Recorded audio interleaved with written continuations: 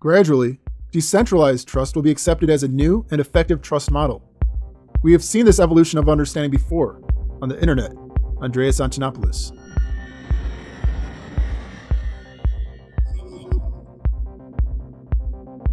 Welcome to EOS Weekly. This video is made possible in part by EOS New York, a top 21 block producer who is dedicated to reinvesting into the success of EOS and always adding value. Please help show your support for these videos by voting for EOS New York. People expect tokens to behave in certain familiar ways, predictable ways as if they had physical weight to them like stones, where as long as each individual person takes care of their own account security, that those tokens will remain safely under their own control. Back in September, when Trybe had an issue with their airdrop, they were able to pull back a large set of tokens that had already been distributed out to EOS token holders. This caught a lot of people off guard. Even many people who were pretty well informed of the inner workings of EOS didn't until then understand the amount of flexibility that application builders had over their tokens.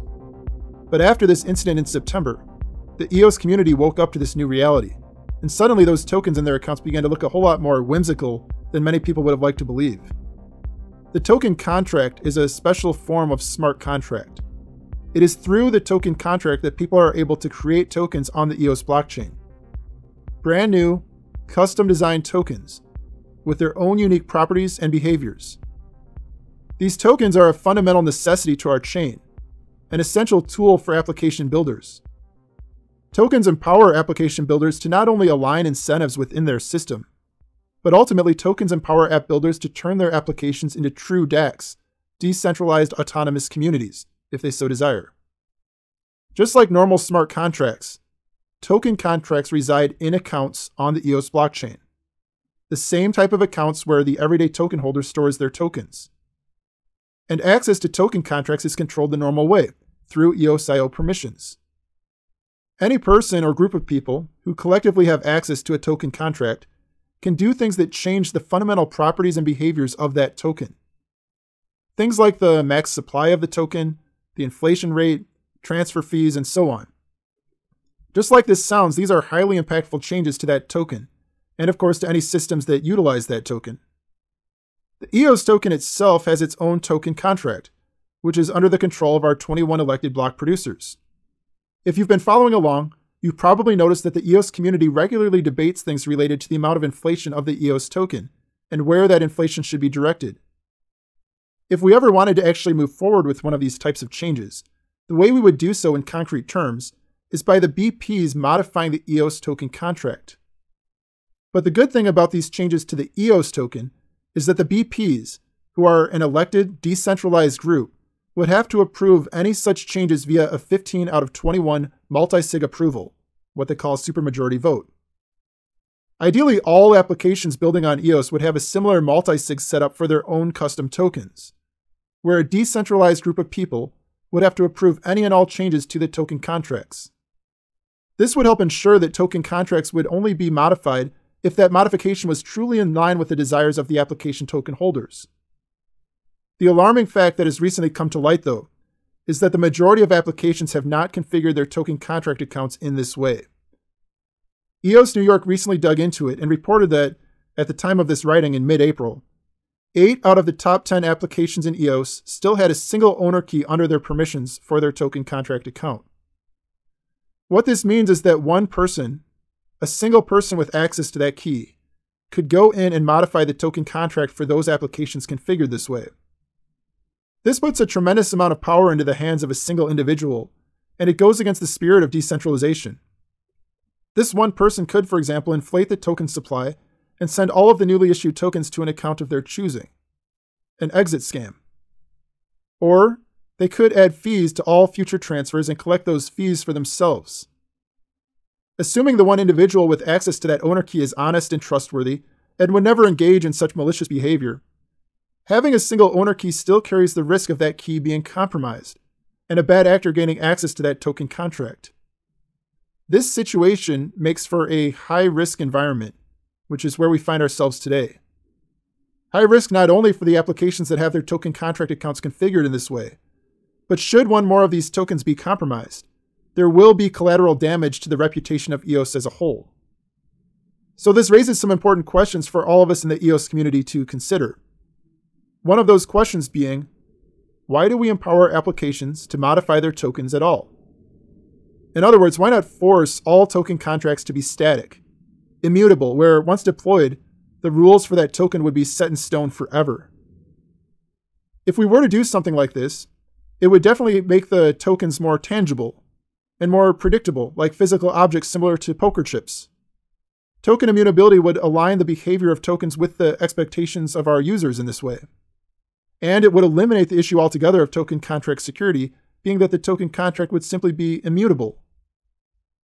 The downside of this approach, though, is that it would take away the ability for application builders to fine tune the tokenomics of their systems. Going back to the EOS token itself, as we mentioned earlier, the EOS community has ongoing debates about our tokenomics. How much inflation is the right amount? And where should that inflation money be directed? Imagine if we couldn't change these type of things, that we had to live with the 1% inflation for BP pay and the 4% inflation for worker proposals forever and ever. This would clearly have its downsides. We wouldn't be able to adjust things based on our learnings, based on the changing environment, or the changing sentiment of the EOS community. So instead of making the EOS token totally immutable, we make it mutable by design.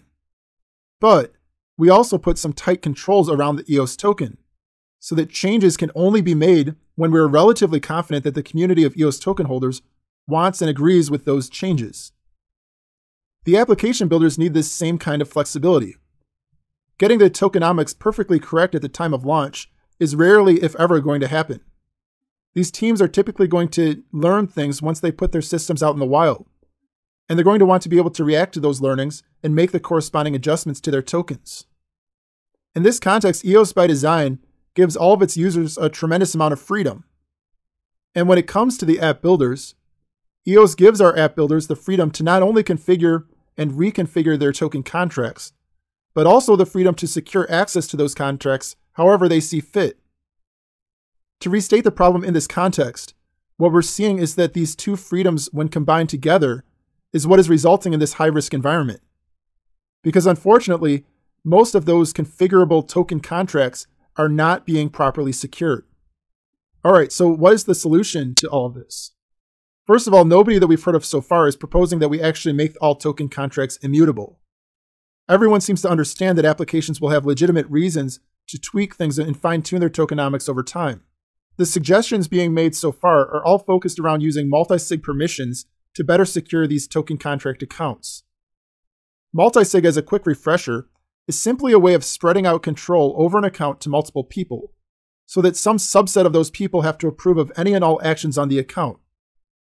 You can add as many people as you want to a multi-sig, and the number of approvals required is highly configurable using a system of weights and thresholds. You can even structure these multi-sigs into hierarchies, so there's virtually no limit to the level of organizational complexity that can be modeled into the EOS blockchain. You can think of multi-sigs as EOS's way of decentralizing the governance side of our applications. This multi-sig functionality is already available today to any and all EOS accounts, and so the application builders could configure this at any time for their token contracts. Really, the only difference in some of the solutions being proposed relates to providing some options around who these people are who are part of the token contract multisigs? How do you select those individuals who together can collectively decide to make changes to the token contract? Now, the most obvious answer is that the team of people who are building the app would be the ones who are included in the multisig. This could be a step in the right direction for many of the teams out there. But imagine a situation where the app is mainly being built by contractors, and the lead developer doesn't necessarily trust the contractors. There are cases like this where a multisig could in fact be less secure. It's all about having an intelligent process for selecting trustworthy individuals, combined with setting up the weights and thresholds of the multisig so as to prevent against malicious collusion among those individuals. And there are three different approaches that an application could potentially take when selecting these individuals for their multisig. The first option we've already mentioned. The team that is building the app could appoint people from within their team or elsewhere to be involved in the governance side of things. Those appointed people would then be added to the token contract multisig as a way of adding additional security to their token contract and to help bring their app governance on chain. A second option is to have a systematic way of electing people to these positions. This is the solution that EOS DAC is advocating for in this blog post here. EOS DAC calls these people custodians when they are elected by the token holders to handle the governance side of this system. And when you start electing your custodians, this is a major milestone towards running your system as an actual DAC.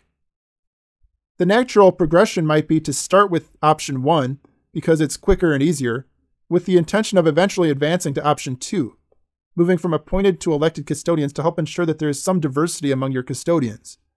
And it gives a voice to your application token holders as well. Now, our third option is the one being proposed by EOS New York, which is that the elected block producers themselves be the custodians of the app token contract. For any app builders who go with this third option, their app tokens would have the same level of security and decentralized control as the EOS token itself, requiring 15 out of the 21 elected BPs to approve any and all changes to their token contract. During this town hall meeting, the Everipedia team described several advantages to this approach. The link to this video is in the show notes below, but to summarize some of these advantages, first of all, any apps that go with this third option would have their tokens deployed via the eosio.token system contract, the same system contract used to deploy the EOS token itself. And one of the things that got Everipedia excited about this idea of utilizing eosio.token is that this would mean that the app team would no longer have to cover the RAM costs of hosting the token contract in their own account. So there are some serious cost savings to the apps with this third option. Secondly, this would help certify to everyone that there is solid decentralized control over these tokens. Not only is this helpful from a marketing standpoint, in that it ensures a certain level of immutability of these tokens, but as Everipedia noted, it can also help streamline the process of getting app tokens listed on exchanges, being that the app teams can show that they have the same structure and controls in place as the EOS token. This would help to simplify the exchange audit process. Finally, this makes it easier to support token transfers across all participating tokens because the same native cleos transfer method for the EOS token could be used for the app tokens when they are deployed in this way. So any website that supports transfers of the EOS token could very easily add transfer support for these app tokens. Now these first two options are available as of today, with out-of-the-box EOS.IO functionality, along with the help of the open source software and tutorials being provided by EOS DAC for this second option here. This third option is not available as of yet, EOS New York did put this up as a referendum so as to ensure the community supported this idea, and so far it has overwhelming approval. A second part of this referendum also includes auctioning off premium token names, and using those funds for core EOS.IO code development. We'll be covering the second part of the proposal in an upcoming episode about different proposals to fund core EOS projects. There's a link to this referendum below if you want to understand this further, or if you want to voice your opinion on these matters by voting for or against this proposal. That's it for this week's episode.